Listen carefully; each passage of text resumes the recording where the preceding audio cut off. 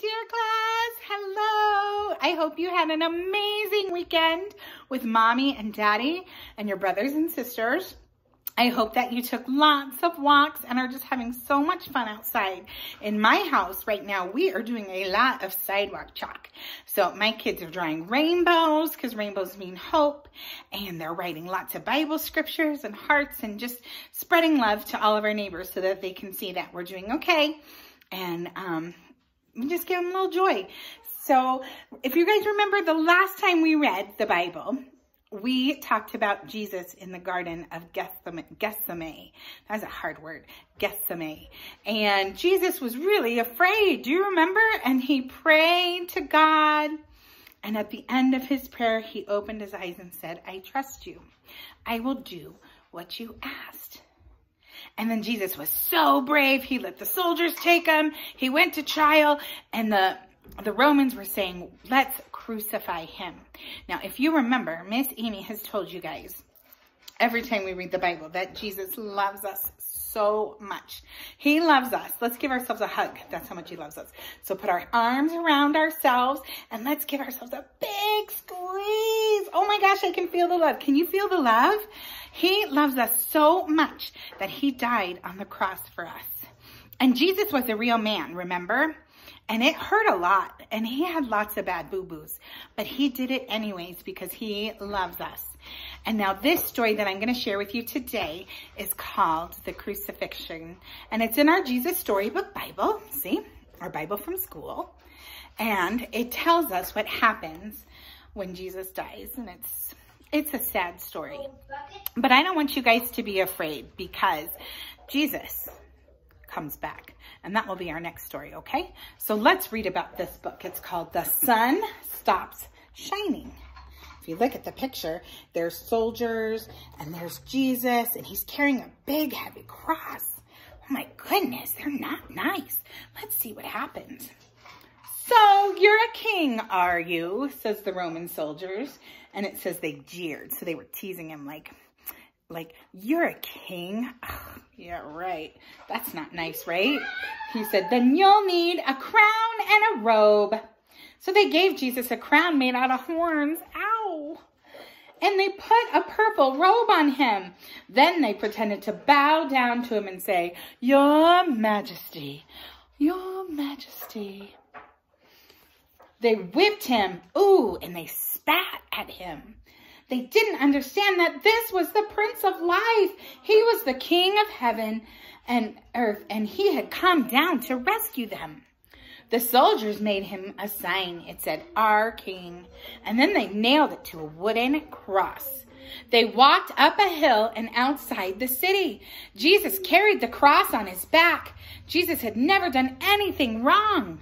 But they were going to kill him the way criminals were killed. Now remember, I've always told you, Jesus never made a mistake. He was perfect, which is why he was chosen. God picked him a long time ago. So this is part of his plan. Don't be scared, okay? They nailed Jesus to the cross. And Jesus said, Father, oh, Father, forgive him. They do not know what they are doing. You say that you've come to rescue us, the people shouted, but you can't even rescue yourself. They were wrong. Jesus could have rescued himself. A legion of angels would have flown to his side if he called. Now, a legion is a lot of angels. If Jesus called, they would have come to help him. But Jesus knew he had to do this because he loves you. If you were really the son of God, you could just climb down off that cross, one of them said. And of course, they were right. Jesus could have just climbed down. Actually, he could have just said a word and it would all have stopped. Like when he healed that little girl. Do you guys remember that? Or when he stilled the storm with just this word, hush. Do you remember the time he fed those 5,000 people? I do. But guess what, guys? Jesus stayed. You see, they didn't understand. It wasn't the nails that kept Jesus there. It was love. It was love, friends. Papa, Jesus cried frantically, searching the sky. Papa, where are you? Don't leave me. And for the first time and the last, when he spoke, nothing happened. Just a horrible, endless silence. God didn't answer. He had to turn away from his boy. Tears, oh, tears rolled down Jesus' face, the face of the one who would wipe away every tear from every eye. Here's Jesus. He's the silence is our king. He has some bad boo-boos. Poor Jesus. Even though it was midday, a dreadful darkness covered the face of the earth. The sun could not shine. The earth trembled and quaked. The great mountains shook. Rocks split into two until it seemed like the whole world would break and that creation itself would tear apart. And when they say that, class, they mean the world, like the mountains and the sky and the sea. The creation itself was going to break. That's how, how much people felt. That's how much the earth felt when Jesus was taking on our burdens. The full force of the storm of God's fierce anger at sin was coming down on his own son. Instead of his people, but this was the only way God could destroy that sin and not destroy his children. That's us, whose hearts were filled with sin. Then Jesus shouted in a loud voice, It is finished. And it was. He had done it. Jesus had rescued the whole world.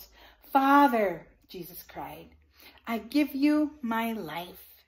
And with a great sigh, he let himself die. Strange clouds and shadows filled the sky. They were purple, orange, and black, kind of like a bruise.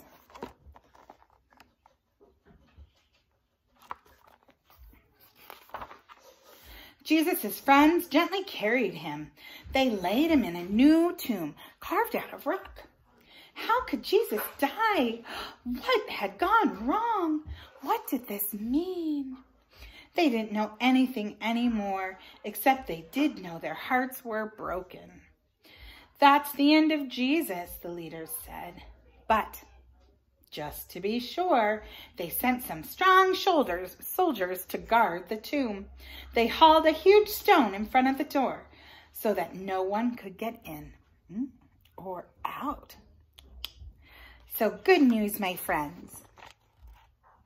Jesus died on the cross because he loves us so much. And I'm so thankful that Jesus loved me that much that he would take all those bad boo-boos so I get to go to heaven with him and God. Oh, are you thankful? Take a few minutes and talk to mom and dad about how you, what you are thankful for and how you feel blessed. Now, blessed means it's something that's come to us that's amazing. I feel really blessed that I got to be your teacher. And I feel really blessed that I got to share that story with you. Now you share with mom and dad how you are grateful and thankful and what you feel blessed of for. All right, you guys, I will read another story on Friday.